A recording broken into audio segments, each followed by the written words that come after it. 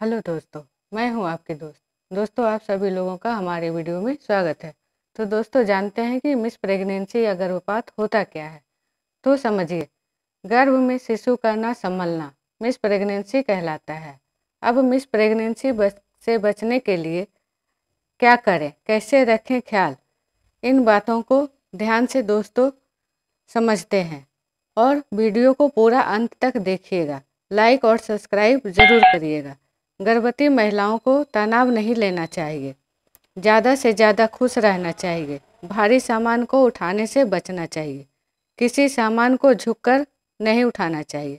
दोस्तों, miss pregnancy ज़्यादातर शुरुआती के तीन महीने में होने के चांस ज़्यादा होते हैं। जितनी सावधानी से रह सकते हैं, उतनी सावधानी से रहने की कोशिश कीजिए। इस समय भीड़ भाड़ वाली जगह पर जाने से बचना चाहिए।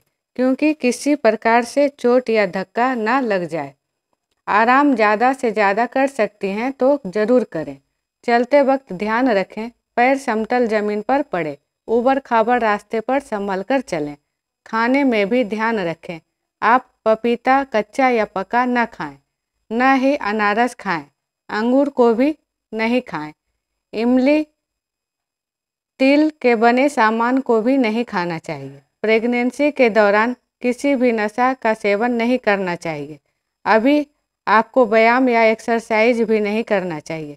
सेक्स भी डॉक्टर की सलाह से करें। और हाँ दोस्तों, अगर आपको किसी भी तरह से सर दर्द, पेट दर्द या बुखार कुछ भी ऐसा है तो डॉक्टर की सलाह से ही दवा लें। अपनी मर्ज़ी से बाहर की दवाओं को ना खाएँ। धन्यवाद दोस्तों।